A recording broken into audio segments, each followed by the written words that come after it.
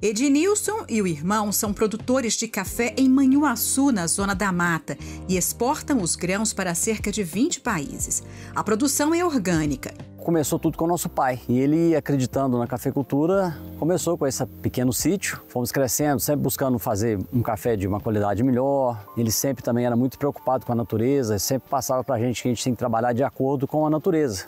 Respeitar o lugar que você está, a preocupação com a qualidade do café levou Ednilson a integrar o programa Certifica Minas. A venda para o exterior aumentou. Os principais são Alemanha, Itália, Estados Unidos, Austrália, Bélgica. E a gente está buscando agora novos mercados. A China hoje é um país que está começando a tomar café e são muitas pessoas, né? Então a gente fica feliz de poder buscar esse mercado. Segundo a Secretaria de Estado de Meio Ambiente e Desenvolvimento Sustentável, 99% da produção cafeira de Minas é feita em áreas livres de desmatamento desde 2008.